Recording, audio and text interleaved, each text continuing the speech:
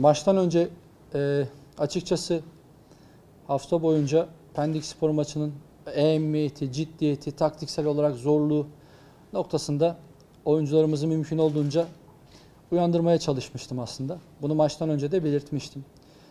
Bunun çok çok sebepleri vardı. İlk 8 maçta galip gelemeyen bir takım olmasına rağmen Pendik Spor son 6 maçta ikisi deplasman galibiyeti olmak üzere 3 galibiyeti vardı.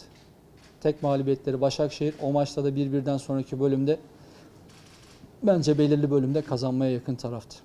Ee, her ne kadar topa sahip olan takım biz olsak da bizim Ailton'la bir net pozisyonumuz var ama Pendik Spor'un da iki tane pozisyonu vardı.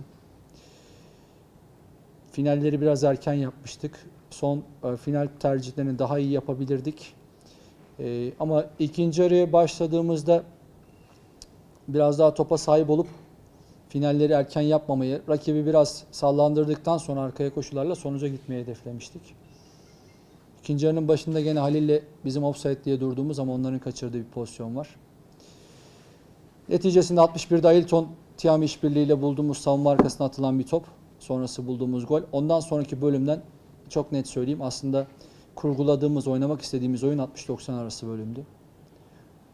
Biraz daha skor avantajıyla beraber biraz arkada kalır gibi gözüksek de ciddi gördüğünüz pozisyonlar yakalayan takım Kayseri Spor'du. Bunda taraftarımızın itici gücünün de etkisi olduğunu söyleyebilirim.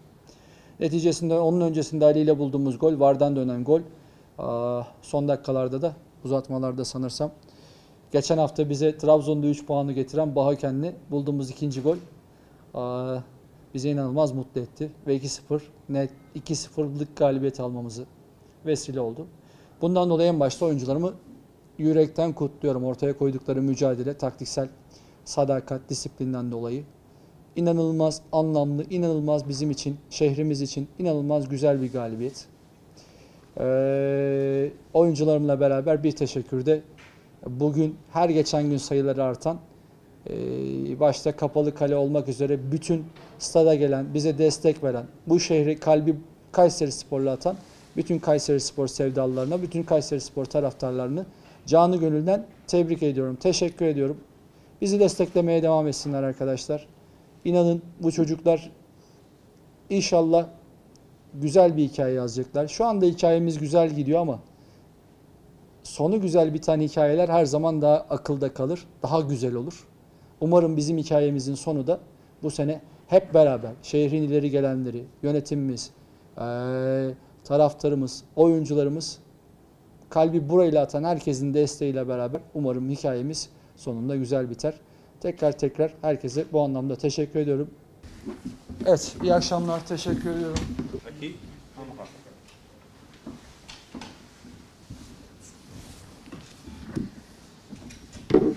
Ok, Kaiser Sport foi a melhor equipa, ha ganho uh, 2 a 0 e é merecido. Agora poderíamos uh, fazer um resultado diferente se Eranchan tem feito o primeiro gol de partido, a melhor chance de jogo.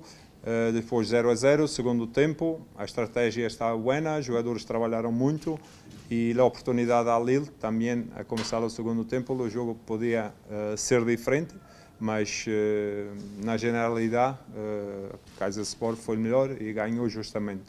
Kayseri Spor hak ederek 2-0 bir e, galibiyet aldı bize karşı. Maç boyunca bizden iyi olan taraf Kayseri Spor'du. E, bizim bizim taraf bizim açımızdan bakınca da Erencan ilk yarı çok net bir pozisyon buldu. Maç 0-0 gidiyorken. Eğer onu gole çevirebilseydi maçın farklı bir hikayesi olabilirdi. İkinci yarı tekrar 0-0 başladık. İyi bir stratejiyle maça devam ederken Halil'in yine net bir pozisyonu vardı. O da gol olmadı. Ee, maalesef yakalandı, yakaladığımız net şansları değerlendiremeyecek Kayseri e, iki tane gol bularak ve maçı hak ederek kazandı. Soru var mı? Teşekkür ederiz. Sağ olun. Tabii.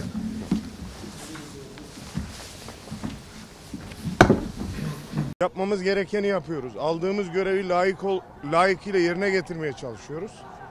Ee, olur. Hakem gördüğünü çalıyor. Ee, iyi niyetle maç yönetti. Bir de VAR sistemi var. Artık o orta hakemlere bu konuda arkadaşlar yüklenmesini doğru bulmuyorum. Siz bu mücadeleyi ortaya koyduktan sonra bu takım bu ligde Allah'ın izniyle layık olduğu yere gelir. Bugün bunu bir kez daha hani o tesadüf diyen arkadaşlar var ya e, bu galibiyeti onlara biz hediye ediyoruz. Yani lütfen artık şehirde kenetlenelim. Bana ne söylüyorsanız söyleyin ya. Ben cevabınızı zaten veririm. Ama gelin Kayseri Spor'a ve Kayseri şehrine e, zarar verecek işlerden hep beraber kaçınalım arkadaşlar. Bu egolarımızı, kişisel hırslarımızı bırakalım. Gelin herkes Kayseri Spor etrafında kenetlensin. Bir temiz sayfa açalım ya ne oluyor yani? Neler yapıyor yazıp çizdiniz? Yani bir gün karşınıza geçip de ne bir şey mi dedik? Canınız sağ olsun eleştirin. Her şeyi yazın çizin. Eleştiri insanı geliştirir. Ama iftira ve kişisel egolarımızla konuşursak o zaman çok yazık oluyor. Her hafta küfür yiyoruz. Ben seyircimden, o yiğitlerden rica ediyorum. Artık şu küfür de bitsin. Hiç sadece takımımızla ilgilenelim. Bakın biz takımımızla ilgilendiğimiz zaman neler oluyor. Yani canları sağ olsun. Ödediğim cezaları da inanın biz yönetim olarak seyirciden gelen cezaları kendi aramızda paylaşıp ödüyoruz. Canları sağ olsun ama biz onu başka bir yerde takımın daha iyi olması için kullanalım. Niye gereksiz yere para ödeyelim? Arkadaşlar biraz önce söyledim ya biz mütevazi bir takımız. Mütevazi bir bütçemiz var. Ayaklarımız yere bassın. Elbette ki bir hedefi olmayan bir adam değilim.